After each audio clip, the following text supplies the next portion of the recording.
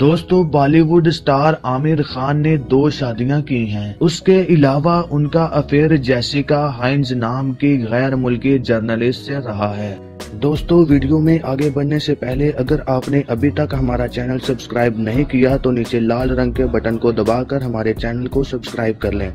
اور ساتھ میں گھنٹے کے بٹن کو بھی دبا دیں تاکہ ہماری نئی ویڈیو آنے پر آپ کو نوٹیفیکیشن مل جائے۔ ایک میگزین میں چھپے آرٹیکل کے مطابق عامر اور جیسیکا کی ملاقات فلم غلام کے سیٹ پر ہوئی تھی۔ دونوں ہی ایک دوسرے کو پسند کرنے لگے تھے۔ جب عامر غلام کی شوٹنگ کر رہے تھے، تب ان کی ملاقات جیسیکا ہائنز نام کی لڑکی سے ہوئی، جو کہ ایک غیر ملکی نیوز رپورٹر تھی ویسے اس وقت عامر اور ان کی بات چیت شروع ہی ہوئی تھی۔ لیکن بعد میں یہ بات چیت پیار میں بدل گئی اور پھر یہ دونوں بغیر شادی کے ہی ایک دوسرے کے ساتھ رہنے لگے۔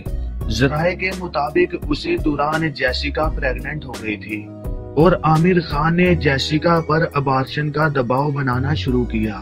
لیکن جیسیکا نے کہا کہ وہ ابارشن نہیں کروائیں گی۔ بعد میں عامر نے جیسیکا سے کہا کہ وہ یا تو بچہ گرا دیں یہ رشتہ ختم کر دیں۔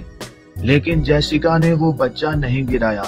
بعد میں وہ بچہ پیدا ہو گیا اور جیسیکا نے سنگل مدر بن کر بچے کی پرورش کی، جس کا نام انہوں نے جوان رکھا۔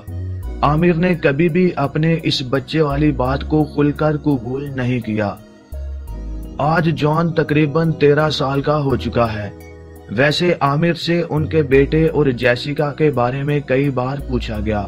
پر اس بارے میں انہوں نے کبھی بھی کچھ بھی کھل کر نہیں کہا۔ دوستو، اگر آپ کو ہماری یہ ویڈیو پسند آئی تو ویڈیو کو لائک اور شیئر ضرور کریں۔ مزید ایسی ہی ویڈیوز کے لیے ہمارے اس چینل کو سبسکرائب کر لیں۔